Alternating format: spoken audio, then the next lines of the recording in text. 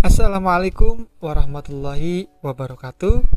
Izin memperkenalkan diri, nama saya Muhammad Raihan Fadilah dengan NIM 201351086 dari kelas Teknik Informatika Malam B. Pada kesempatan kali ini, saya akan menjelaskan tiga materi atau tiga hal. Yang pertama yaitu device manager, yang kedua disk management, dan yang ketiga yaitu cara melakukan partisi ruang memori dan menggabungkan ruang memori yang telah dipartisi untuk memenuhi syarat ujian akhir semester pada mata kuliah sistem operasi. Untuk itu, silakan disimak teman-teman cekidot.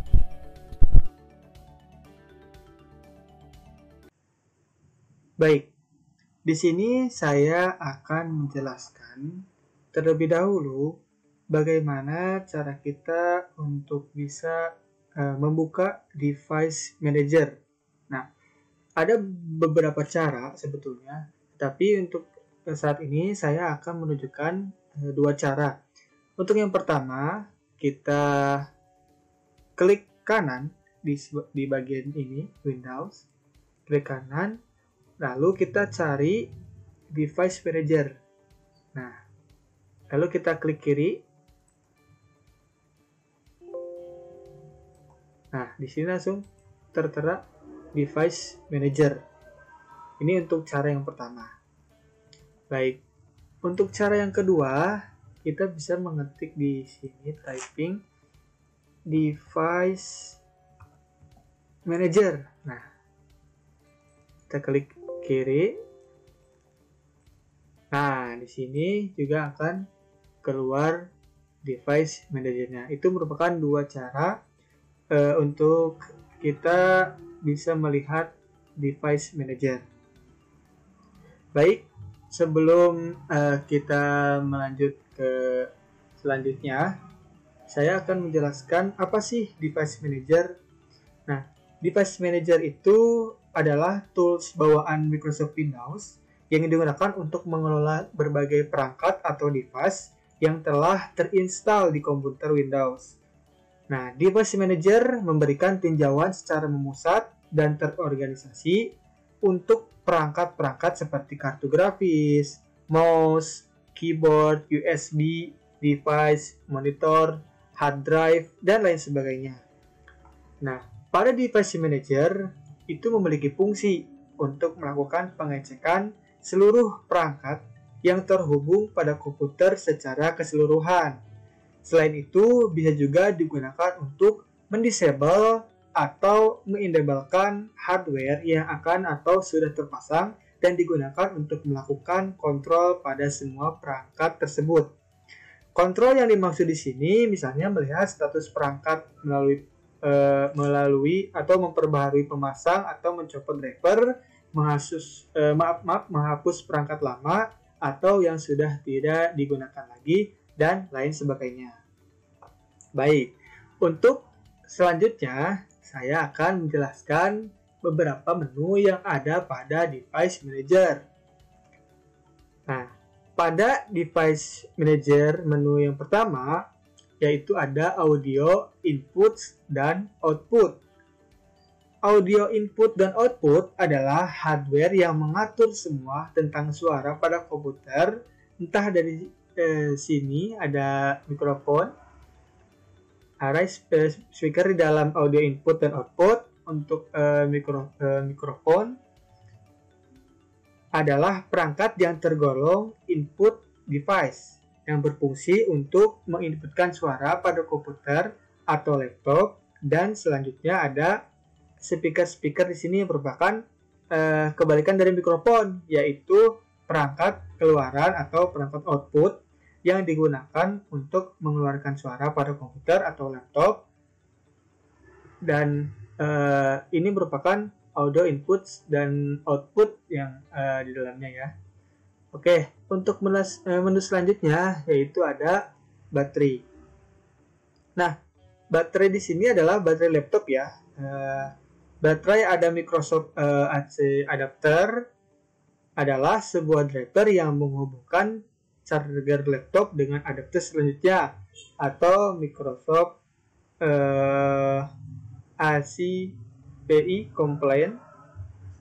Uh, control method battery itu berfungsi dari driver ini adalah untuk menjeda ketika baterai memasuki 100% artinya apabila sudah full chargernya sehingga uh, baterai tidak dapat mengisi lagi.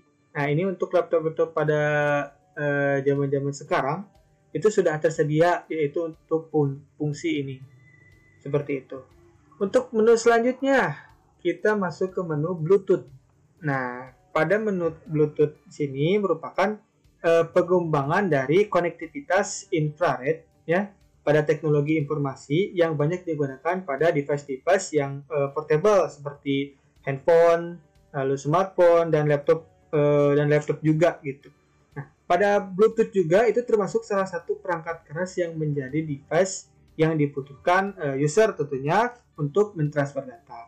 Nah, lalu memiliki fungsi untuk mengirim dan mentransfer data file mencetak dokumen, uh, lalu bisa menggunakan wireless printer, lalu mouse wireless juga, lalu konektivitas wireless speaker ini salah satunya nih ya robot ini, lalu uh, headphone wireless itu juga bisa.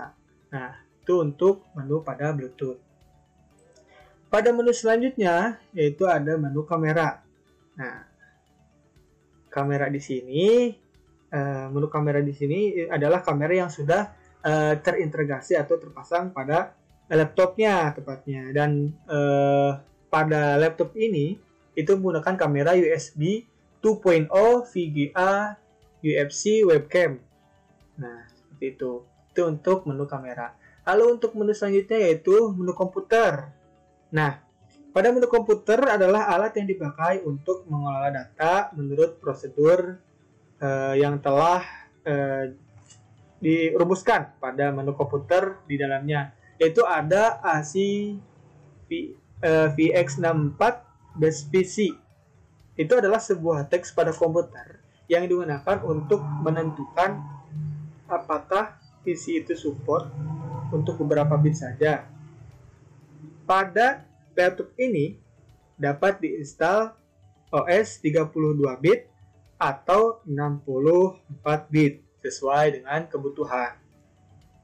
Baik, untuk menu selanjutnya yaitu disk driver. Nah, disk driver di sini adalah alat tambahan yang digunakan untuk meletakkan piringan magnetik atau disebut hard disk. Jadi eh, di sini juga di sini akan memutar piringan dan menggerakkan uh, head atau baca ataupun tulis pada posisi yang diinginkan ketika mengakses informasi dari dalam disk ini juga bisa untuk SSD eh, tambahannya ya di dalam di sini ada SSD internal uh, yang pada di yang ada di laptop. Lalu pada menu selanjutnya yaitu ada display adapter. Nah, display adapter ini merupakan salah satu kartu slot yang terpasang pada ekspansi kartu inilah yang memungkinkan komputer eh, komputer dapat menampilkan data ke layar monitor display adapter hingga saat ini telah mengalami banyak sekali perkembangan ya yang eh, yang sampai saat ini juga perkembangan terakhirnya apabila eh, tidak salah itu adalah VGA atau video graphic adapter. Nah, baik itu untuk display adapter. Pada menu selanjutnya yaitu ada firmware. Nah, firmware di sini adalah kombinasi dari ROM dan kode program dan data yang tersimpan eh, data yang tersimpan di dalamnya juga merupakan perangkat lunak atau bisa disebut sebagai program yang bersifat tet, eh, tetap atau yang tertanam pada unit perangkat keras seperti alat-alat elektronik, alat-alat komunikasi dan komponen-komponen komputer berfungsi uh, juga untuk uh, mengendalikan perangkat keras tanpa adanya firmware ini itu pasti perangkat keras tidak dapat bisa uh, beroperasi seperti itu. Nah, sekarang pada menu Human Interface Device. Nah, pada menu HID ini adalah definisi kelas perangkat untuk menggantikan konektor uh, VS slash 2 dengan driver USB uh, generik atau plug and play untuk mendukung perangkat uh, eh, HID seperti keyboard, mouse, game controller, uh, dan lain-lain ya. Di sini juga ada nih USB input device dan lain-lain seperti itu. Ini untuk human interface device. Untuk menu selanjutnya itu ada ID ATA atau Atavi controllers di mana uh, ini merupakan sistem paralel antar muka uh, asinkron antara sistem uh, mikroprosesor host dan perangkat IDE standar. Nah, perangkat uh, ini bisa disebut sebagai uh, host adaptor seperti itu karena menyediakan cara untuk menghubungkan perangkat IDE dengan host.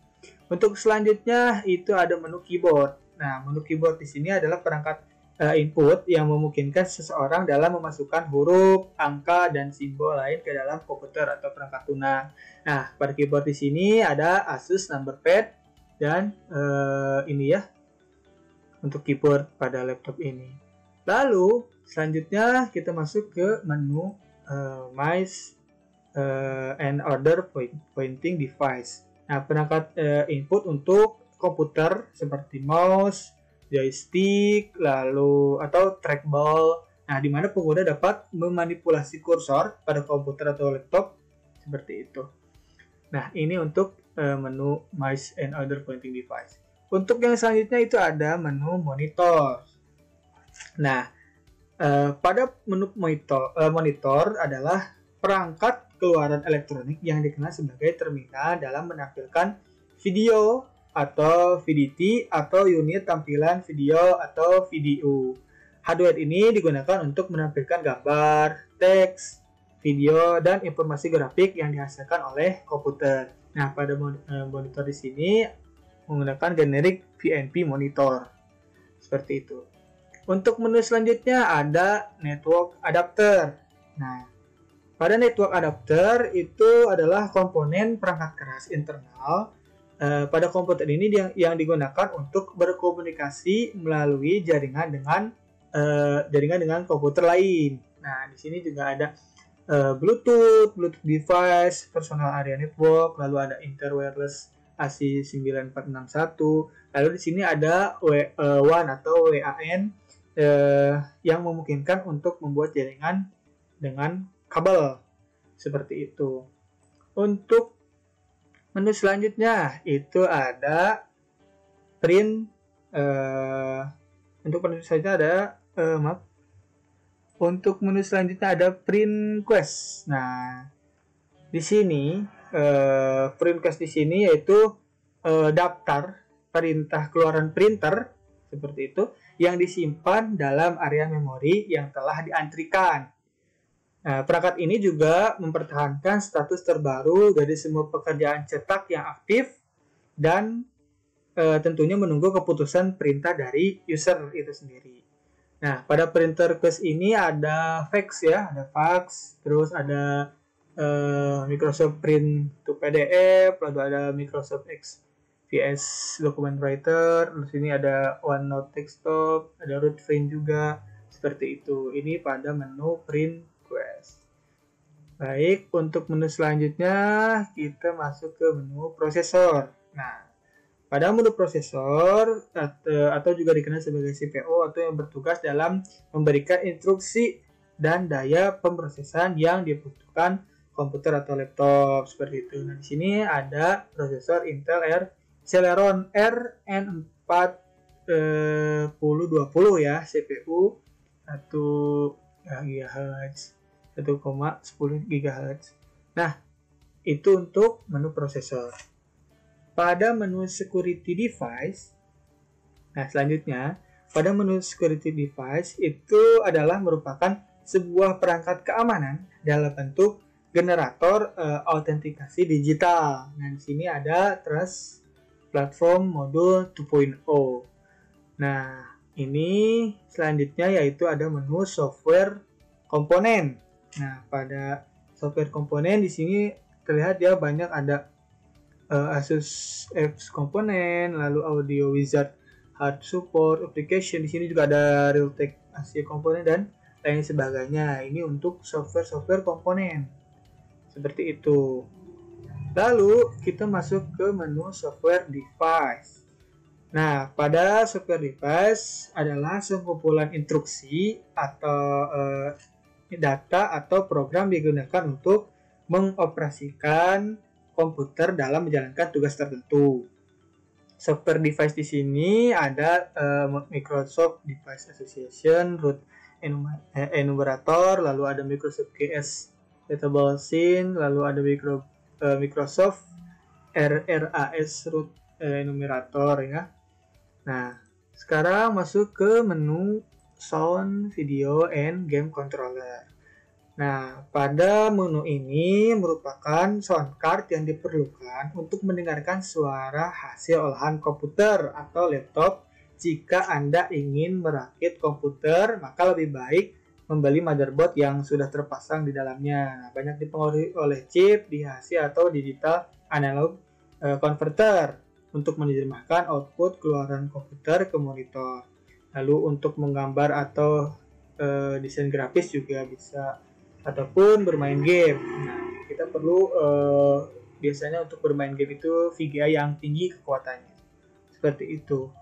Lalu pada menu selanjutnya yaitu ada storage controller.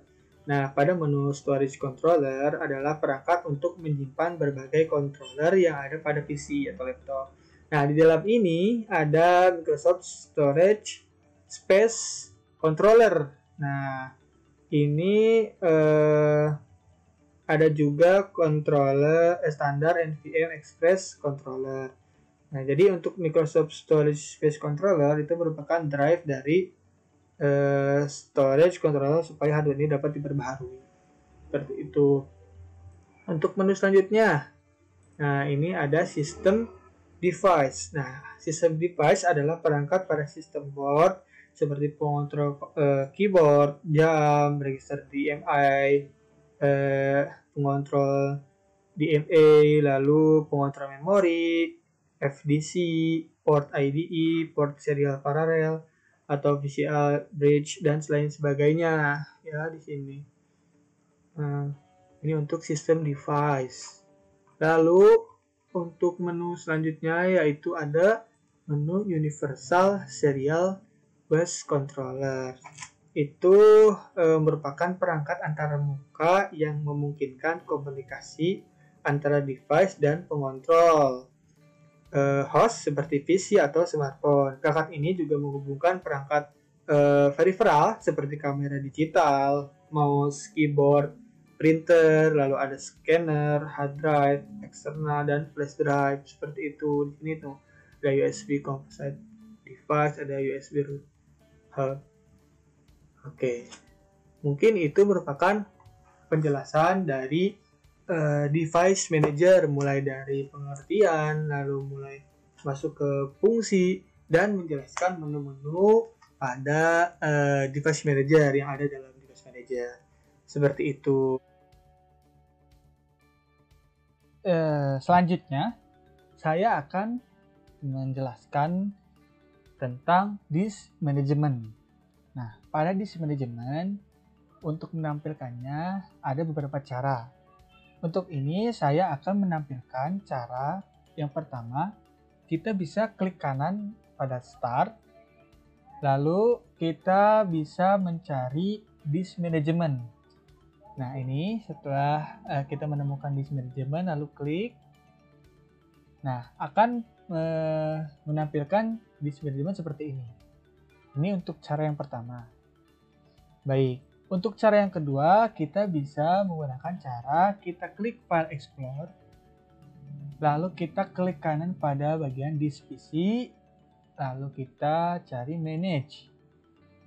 Setelah ditemukan manage kita klik lalu akan menampilkan seperti ini komputer manajemen lokal pada bagian ini kita cari uh, storage yaitu di sini ada disk management. Kita klik. Nah, setelah kita klik akan menampilkan disk management. Baik. Sebelumnya uh, saya akan menjelaskan fungsi dan isi dari disk management, tetapi apa sih disk management itu sendiri? Disk management adalah tools internal dari Windows untuk melakukan pengaturan konfigurasi hard disk, SSD, flash disk, atau media penyimpanan lainnya.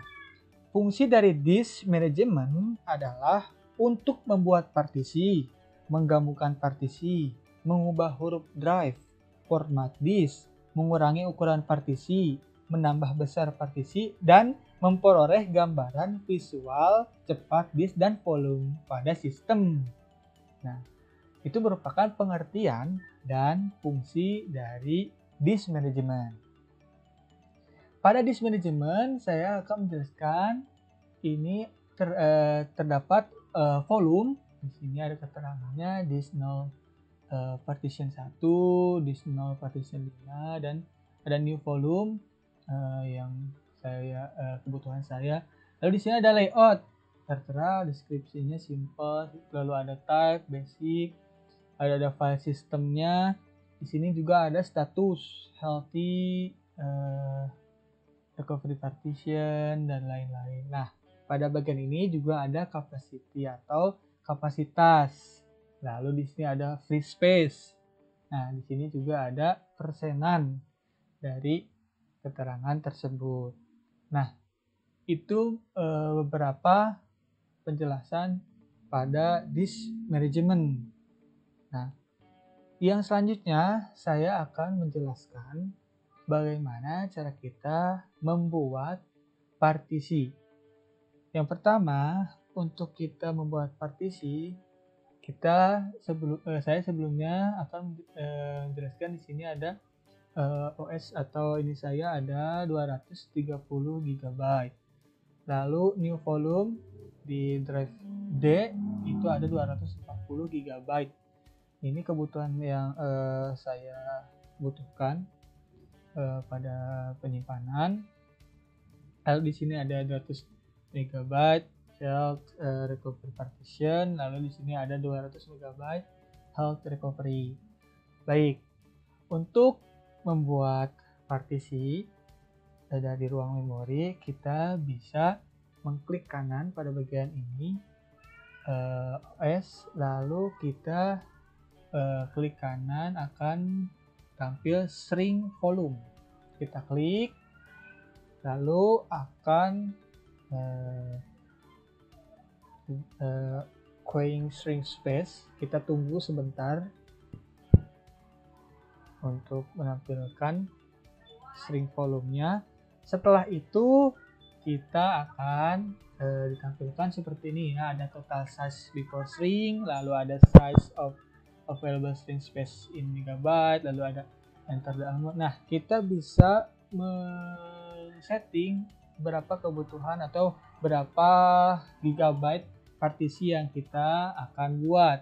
Saya di sini akan membuat 12.000 uh, megabyte ya kita pencet eh, kita klik string lalu kita akan tunggu sebentar setelah kita buat kita tunggu nah di sini akan tampil 11,72 GB dengan keterangan unlocated.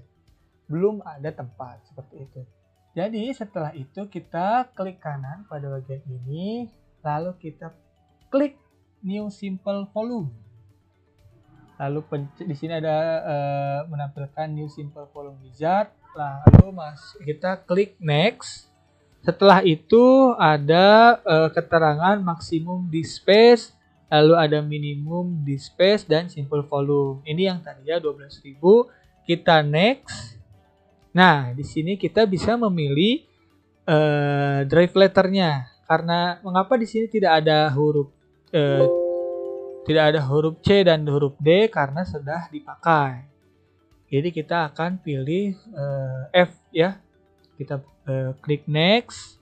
lalu kita klik next lagi nah di sini ada keterangan ya volume type-nya simple volume yang tadi ya lalu di selectnya di uh, nol lalu ada keterangan drive letternya juga baik kita finish klik tunggu sebentar nah setelah kita mengklik finish kita akan mendapatkan notifikasi uh, new volume tadi ya new volume uh, drive letter F nah di sini uh, tertera ada uh, OS uh, drive letter C lalu ada new volume drive letter F ada new volume uh, D nah setelah itu bagaimana cara kita membuktikan kita telah berhasil membuat partisi? Kita bisa lihat di file explore. Nah, pada bagian ini ada ya, tertera new volume F. Nah, di sini masih kosong karena tadi kita baru buat partisinya. Seperti itu. Ini untuk menyimpan eh, seperti halnya yang lain. Pada partisi yang eh, saya juga buat sebelumnya itu new volume D. Nah, setelah itu eh, kita bisa dibilang berhasil udah uh, berhasil membuat partisi. Lalu kita uh, tahap selanjutnya atau yang selanjutnya akan menggabungkan partisi uh, kembali seperti itu. Setelah kita membuat partisi saya kita, saya akan menggabungkan partisi.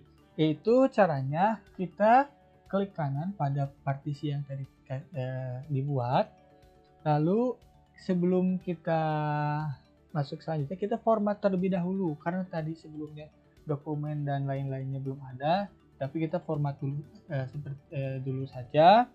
Setelah format oke. Okay. oke. Okay. nah setelah melakukan proses format kita langsung klik kanan lagi. Eh, kita klik delete volume. Oke okay, klik delete volume. Yes. Oke. Okay itu akan kembali lagi eh, dengan tampilan seperti ini ya 11,72 GB dengan keterangan unallocated. Nah setelah itu kita akan gabungkan partisi ini kembali ke eh, drive C ini ya letter C ini. Kita klik kanan pada drive letter C. Kita klik extend volume. Setelah itu next. Setelah next nah ini kita akan dipilih ya karena yang tadi unlocated itu hanya ini ya. Yang eh, 12.000 MB ini yang unlocated. Kita pilih next. Setelah itu eh, setelah beres kita klik finish. Tunggu sebentar. Nah itu akan eh, masuk kembali partisinya atau digabungkan kembali ke drive C. Seperti itu. Jadi kurang lebih e, cara menggabungkan seperti itu. Dari e, dari awal e, kita buat partisi, lalu yang terakhir tadi kita menggabungkan partisi. Seperti itu. Mungkin itu kurang lebih yang dapat saya sampaikan tentang disk management dan e, cara membuat partisi dan juga menggabungkan partisi. Dan e, mungkin kita eh, tadi dari awal eh, saya juga menjelaskan tentang device manager. Eh, dari sekian banyak penjelasan, mohon maaf, mohon maaf apabila ada kata-kata atau eh, keterangan atau penjelasan yang saya kurang jelas atau kurang eh, baik. Eh, mohon dimaafkan. Terima kasih telah eh, melihat atau menyaksikan video ini. Semoga bermanfaat bagi teman-teman dan semuanya. Terima kasih atas segala perhatiannya. Wassalamualaikum warahmatullahi wabarakatuh.